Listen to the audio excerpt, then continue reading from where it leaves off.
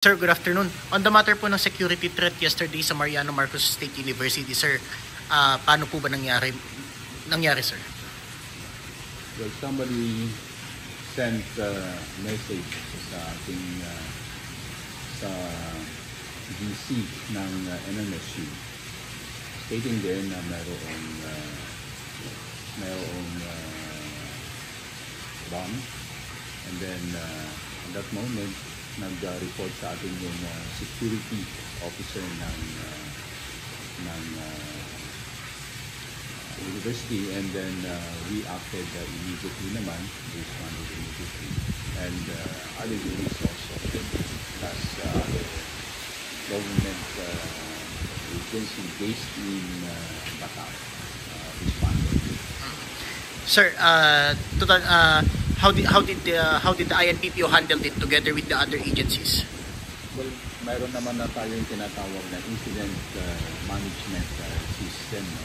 So, PNP ang tawag namin dyan is uh, typical uh, incident management uh, system. So, ito yung ginagamit namin uh, framework para i-address yung uh, isang uh, issue, isang critical incident or crisis. So, with that uh, with that framework, uh, yun yung uh, ginamit na natin kahapon. So, lahat ng government agencies may kanya-kanyang uh, function on that uh, on that uh, management uh, framework. So, it was uh, very successful. It was a very uh, a uh, successful exercise and uh, nakita naman natin how uh, nag, uh, paano nag-transition ito ng uh, isang uh, maganda at uh, uh, maayos na pag-perform ng kanilang uh, mandates. Sir, on the matter po ng sus uh, dun sa suspect, dun sa identity po ng suspect, are we nearing on the suspect dun sa nag-send po ng uh, ng security threat na ito, sir? Well, we're conducted, conducting continu- continuous validation on that.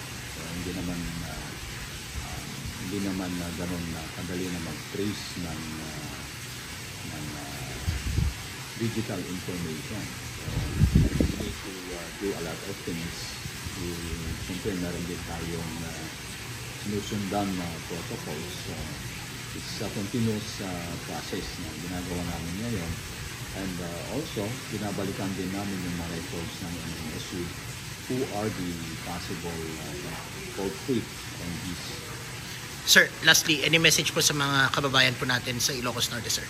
Well, unang-una, kalma lang pagka may mga ganitong uh, situations and uh, let uh, your police officers, let uh, the other security forces uh, handle the issue and uh, kami naman po ay uh, nandito pa palagi 24-7 so let's be assured that uh, you are safe.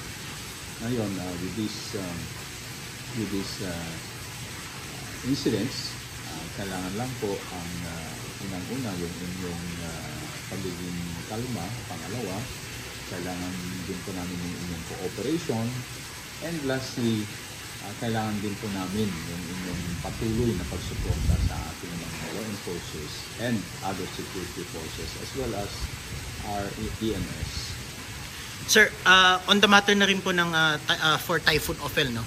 Uh, how prepared are we sa Ilocos Norte Police Provincial Officer uh, sa when it comes to search and rescue, sir? And uh, of course, relief operations, sir. Well, of course, we, we have experienced uh, different uh, typhoons.